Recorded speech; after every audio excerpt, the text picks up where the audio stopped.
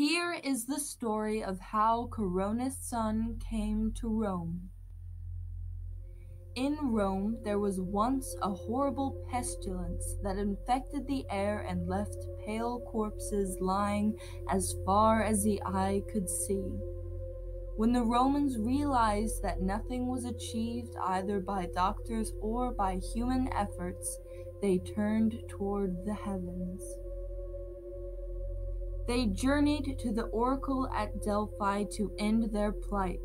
Desperately waiting for a sign, the travelers trembled when they heard the tripod speak these words You are here, but you should have remained closer to home. Seek help from nearby in the future. You do not need Apollo to end your suffering. You need Apollo's son. Summon my son. Now go and be well.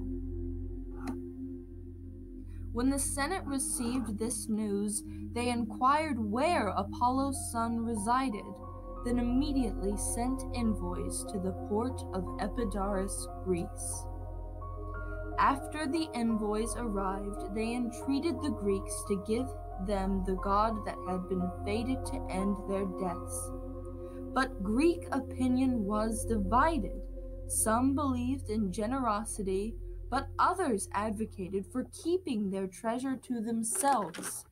As the Romans anxiously awaited a verdict, night fell. Then, in a dream, the god of health and hope came beside one of the envoys. He stood as if in a temple. His right hand seemed to stroke his voluminous beard, his left held a staff. He spoke these words do not fear, I shall come and aid you, Romans. Note the snake which coils around this staff, for I will take its form for my travels. Then he vanished, and night became day. The Greek elders had already gathered at the god's temple to pray to ask him where he wished to dwell.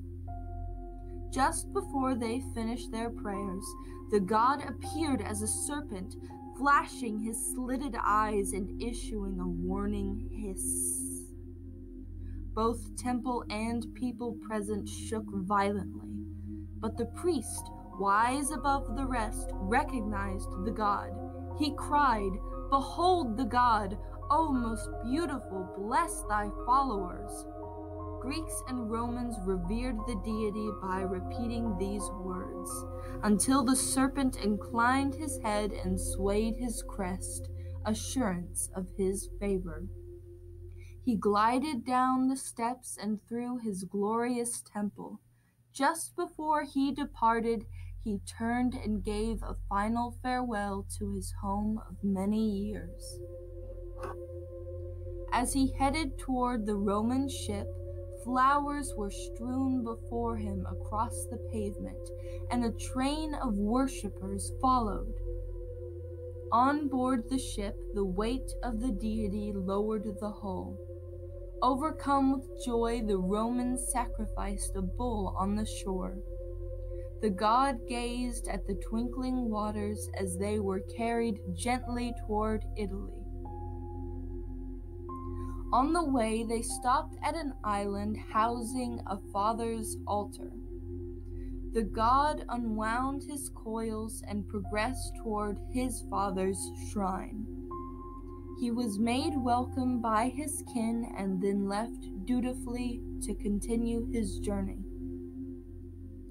His arrival in the Tiber was met with vast multitudes Men, women, children, even the nuns from the temple of Vesta all praised and shouted with joy. Incense filled the air, altars lined the shore, and knives were warmed with sacrifice. The god stretched and looked out across Rome to find a suitable residence. As he disembarked, he assumed his godly form, and so Aesculapius, god of health, ended the city's grief. Created using Powtoon.